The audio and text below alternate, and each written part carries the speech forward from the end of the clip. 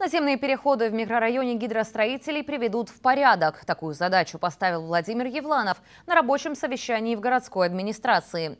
Собравшиеся обсудили, как выполняются поручения главы города, которые он дает во время прямых эфиров на телеканале «Краснодар».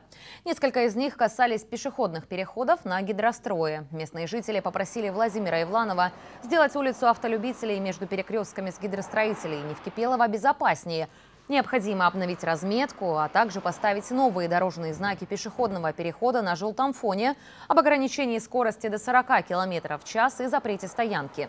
Поступили просьбы установить светофор на переходе на автолюбителей между Трудовой Славой и Парусной. Это один из самых сложных отрезков дороги с оживленным движением. Рядом находится детский сад и школа.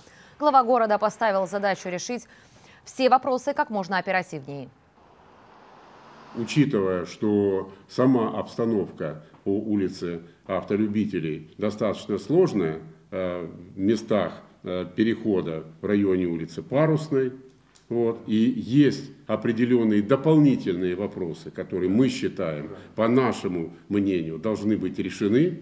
Значит, мы их берем на свое сопровождение с тем, чтобы выполнить их также в короткий срок по погодным условиям, которые могут нам позволить раньше, могут чуть позже.